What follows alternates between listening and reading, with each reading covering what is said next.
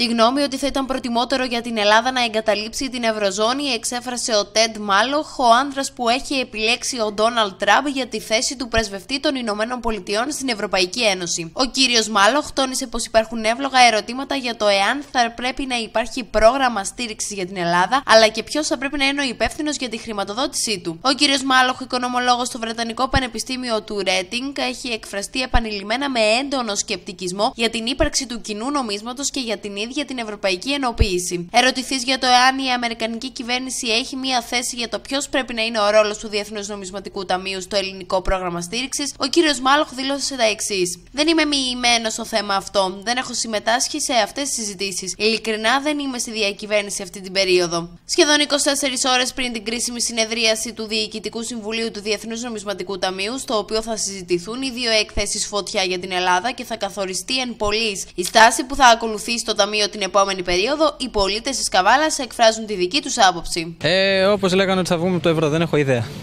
Οπότε, τι να πω. Άμα μας βγάλουν τελικά, εντάξει, θα δούμε πώς θα επιβιώσουμε. Δεν έχω κάποια γνώμη γι' αυτό. Περιμένουμε και θα δούμε. Περιμένουμε και θα δούμε. Αυτό. Ναι. Εσύ τι, από ποια πλευρά όμως θα ήσουν, υπέρ ή κατά; Εγώ θα ήμουν υπέρ γιατί αυτή τη στιγμή δεν μπορούμε να επιβιώσουμε χωρίς ευρώ με όλες αυτές ε, τους προπολογισμού που βγαίνουν, με όλα αυτά τα κονδύλια. Ε, αλλά άμα τελικά μας βγάλουν, δεν μπορούμε να κάνουμε εκεί τίποτα γι' αυτό. Και απαράδεκτο.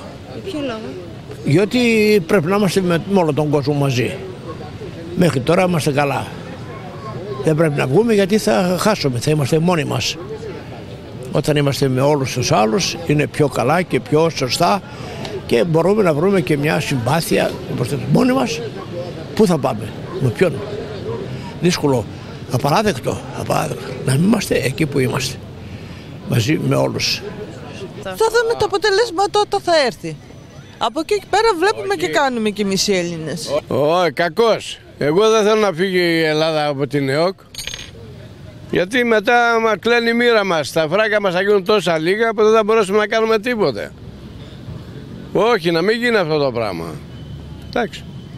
Δεν είναι δικό μας θέμα. Αυτοί που μας κυβερνάνε να κανονίσουν την πορεία τους. Εμείς τι μπορούμε να κάνουμε.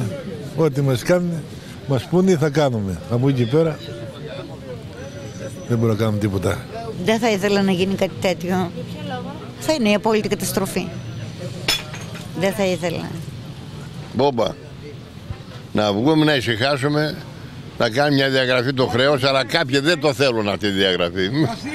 Δήθεν, δήθεν εμείς θα τελεπορωθούμε δηλαδή. Και δεν τελεπουργιόμαστε τώρα με αυτό το ευρώ, ε, που έχει γίνει κατόφορο υποτίμηση. Υποτιμήσει να τι δεν είναι υποτιμήσεις. Να μείωση τα φορολογία του, να οι παλιοί συνταξιούχοι θα υποστούν και αυτοί με το καινούριο θα τους κάνει. Αν δεν υποτιμήσει αυτές τι είναι. Κάποιος άλλος είπε, τράπεζα. Δεν ακούω για 11 δισεκατομμύρια μίλησα πάλι το πρωί. Για ανακεφαλαίου τραπεζών. Να το λέω πάλι. Α, θα το χρεώσουν στην κυβέρνηση. Άρα βγήκε και δεν βγει. Α ξυπνήσουν οι νέοι. Εμεί πάει, τελείωσε. Εμείς θα ξυπνήσουμε. Εμείς, ο διάβολος σα κάνει, θα πάρουμε το χιλιάρικο. Οι νέοι τι κάνουν; Δηλαδή να μην φύγουμε από τους Ευρωπαίους όλους. Είναι δύσκολο πάρα πολύ, πάρα πολύ. Εγώ είμαι εναντίον πολύ γι' αυτό, για τα παιδιά μου, για τα εγγόνια μου, για σας, για σας σκέφτομαι. Πού να πάμε μακριά, μακριά, θα είμαστε μόνοι μας. Είναι πάρα πολύ δύσκολο.